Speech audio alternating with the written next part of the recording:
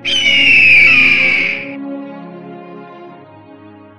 everyone this is and welcome to creative designing twenty र आज म तपाईँहरूलाई फोटोसम्म स्क्रिनमा देख्नु भएको छ पेट्रोनसको इफेक्ट कसरी बनाउने भनेर सिकाउँदै जाँदैछु। यस ट्युटोरियलमा युज हुने ब्रस र फोटोहरू मैले डिस्क्रिप्सनमा लिङ्क दिएको छु। डाउनलोड गरेर तपाईँले मैसँग फलो गर्न सक्नुहुन्छ। यस ट्युटोरियललाई मैले थ्री पार्टमा बुझ्ने गरी डिभाइड गरेको छु।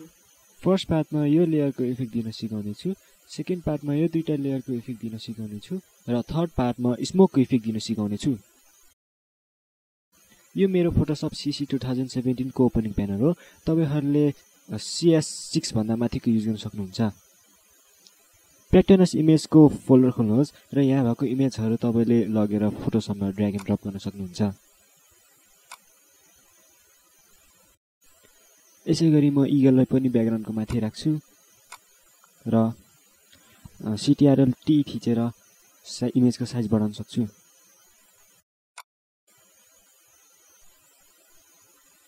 र यसै गरी तपाईँहरूले एडजस्टमेन्टमा क्लिक गर्नुहोस् र इन्भर्ट अप्सन सिलेक्ट गर्नुहोस्। इन्भर्ट सिलेक्ट गर्ने बित्तिकै एउटा लेयर थपिनेछ अल थिच्नुहोस् र माउसलाई यहाँ ल्याउनुहोस्। यस्तो आइकन देखिएपछि क्लिक गर्नुहोस् जसलाई क्लिपिङ मार्क्स भनिन्छ। फेरि एडजस्टमेन्टमा जानुहोस् ब्ल्याक एन्ड व्हाइट अप्सनलाई सिलेक्ट गर्नुहोस् र यसलाई पनि क्लिपिङ मार्क्स गरिदिनुहोस्।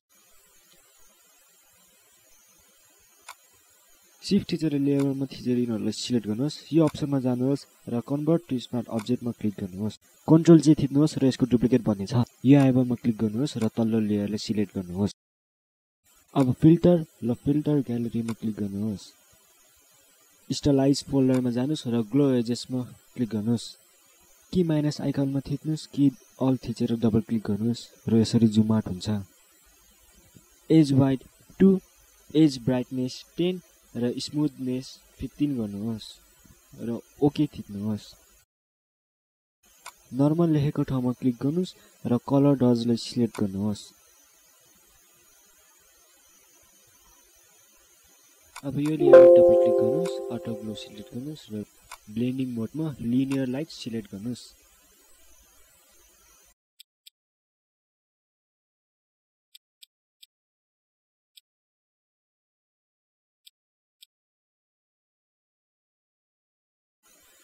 अब गाइज तपाईँहरूले ओपोसिटी फिफ्टी राख्नुहोस्। Noise zero colour white technique software spread zero size forty range thirty colour overlay select गर्नुहोस्। ब्लेन्ड मोड सफ्ट लाइट राख्नुहोस्। Colour zero zero nine six एफएफमा राख्नुहोस् र ओके थिच्नुहोस्। ओपेसिटी सिक्सटी पर्सेन्ट राख्नुहोस्। लास्टमा inner glow click गर्नुहोस्।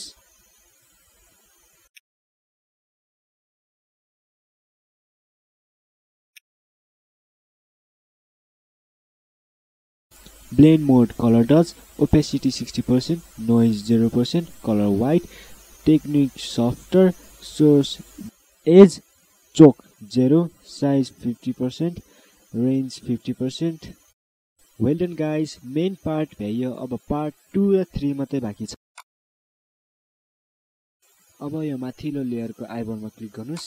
यो layer देखिनेछ यो लेयरलाई सिलेक्ट गर्नुहोस् र फिल जेरो गर्नुहोस्। यसो गर्नाले यसमा लागिने इफेक्टहरू मात्रै देखिनेछ त्यो लेयरलाई डबल क्लिक गर्नुहोस् र अटो ग्लोमा क्लिक गर्नुहोस्।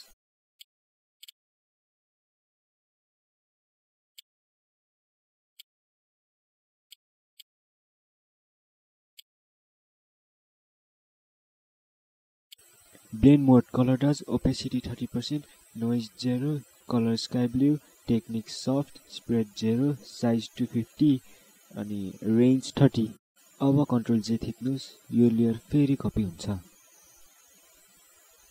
कपी भएको लेयरको अटो ग्लोमा डबल क्लिक गर्नुहोस्। ब्लेन्ड मोड डिजल्भमा राख्नुहोस्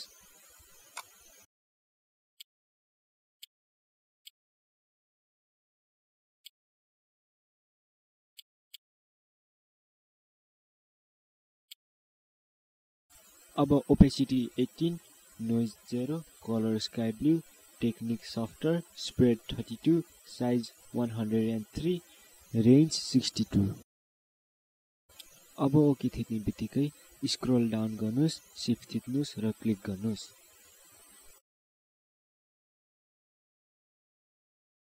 अनि कन्ट्रोल जी थिच्नुहोस् यिनीहरूको ग्रुप हुन्छ। ग्रुप वान लेखेको ठाउँमा डबल क्लिक गर्नुहोस् र यसलाई रिनेम गरेर इगल नाम लेख्नुहोस्। अब स्वालिङ स्मोकलाई ड्र्याग गरेर लिएर आउनुहोस्। नर्मल लेखेको ठाउँमा क्लिक गर्नुहोस् र स्क्रिन अप्सनलाई चुज गर्नुहोस्। मैले डिजल प्लेयरको ओपेसिटी घटाउन बिर्सेछु। मैले जसरी लेयरमा जानुहोस् र ओपेसिटी घटाउनुहोस्।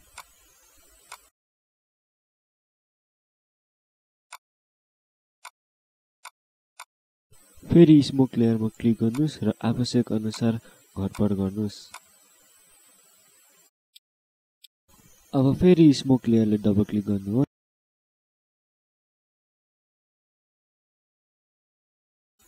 अल्ट बटन थिचेर यो स्लाइडरले यतापट्टि सार्नुहोस्।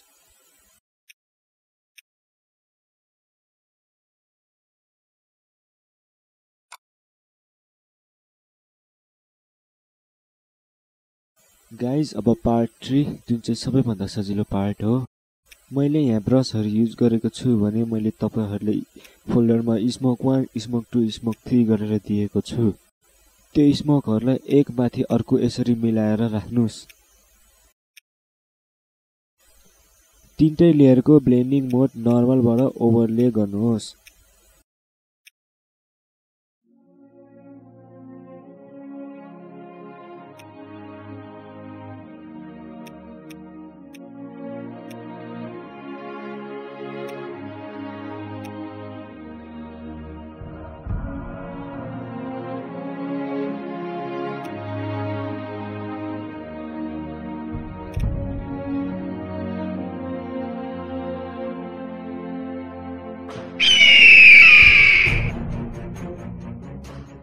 Thank you for watching this video till end guys अनि यदि तपाईँहरूलाई यो भिडियो मन परेको छ भने आफ्नो साथीहरूलाई फेसबुक वा इन्स्टाग्राममा सेयर गरिदिनु होला।